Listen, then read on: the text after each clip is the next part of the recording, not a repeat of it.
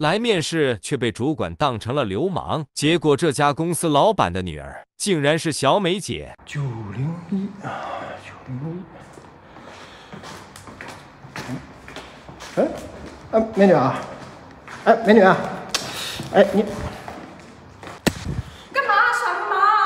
我不是你怎么打人啊？我不打你打谁？光天化日耍流氓，都这么明目张胆了吗？我怎么就流氓了？有你这么不听人解释，上来就一巴掌呼过来的吗？还要解释什么？你这么明目张胆掀女生裙子，不是流氓是什么？不是，你刚才这夹了一张纸，我帮你扯出来而已。什么？那你不会说话吗？那我喊你，你也不搭理我呀！我我我手比脑子快了就。哎哎，九零一，不是哎，等会儿美女，你你你是这公司的人吗？对啊，怎么了？哦，那个我我我是来面试的。哦，你就是那个李航介绍的朋友是吗？啊，对对对对，是是我是我，您是？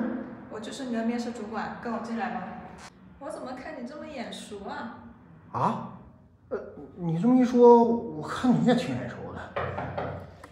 哎，主管，这是他的简历。哦，王小帅。啊，对，呃叫我小帅就行，主管。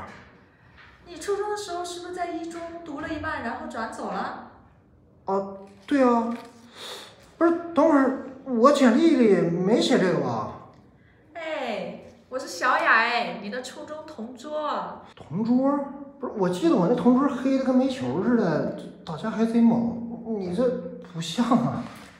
你说谁像黑煤球呢？啊，不是不是，你别抢我耳朵！小雅，老伴，哎，小帅，这姐，你怎么在这儿啊？